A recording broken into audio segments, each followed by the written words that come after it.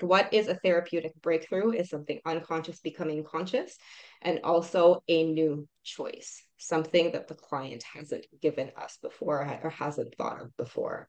And so this is a great demo to demonstrate the real power of little choices which at the end kathy you said at the end um, i'm more open to different um, to different avenues to different Options, ways yeah, yeah. options Okay. exactly choice um, and what those choices are, you're gonna have to update us in the next few weeks and months. Okay.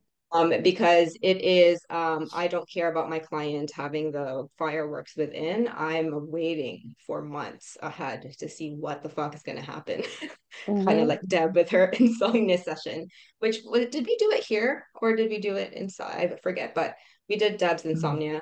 Um, but sh- like her actual breakthrough didn't happen until months later, which is a lot more powerful. This is the stuff that I'm, it's like the small thing exploding into something bigger. This is um, the method, which I, I, I said, very different from what is being uh, being taught.